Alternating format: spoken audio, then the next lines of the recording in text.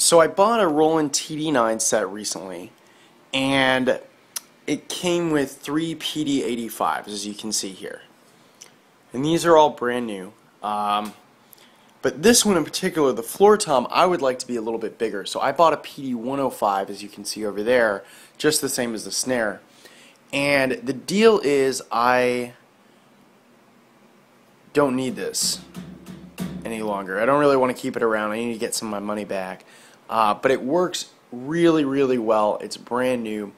I plugged it in a couple days ago. Haven't really done any playing on it, but it is beautiful, and you can hear the response. I'm going to play it a little bit here.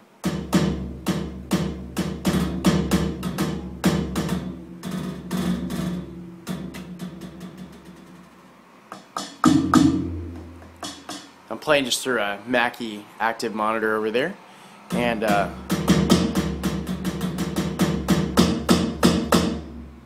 just beautiful. You can see there are no marks. This thing is brand new. It's a Roland Remo mesh head. Uh, it's just beautiful. PD85. It's black. The bottom there. This is a clean room, no smoke. Um, just only had it set up literally for the past couple days here in Boston. So anyway, uh, if you guys want to go ahead and essentially get a new PD85, these things retail for 244 off Amazon, eBay, Sweetwater. Anyway, um, go ahead and get your hands on this one. It's beautiful. I, I pack and ship well. I've got great feedback. And um, yeah, happy bidding.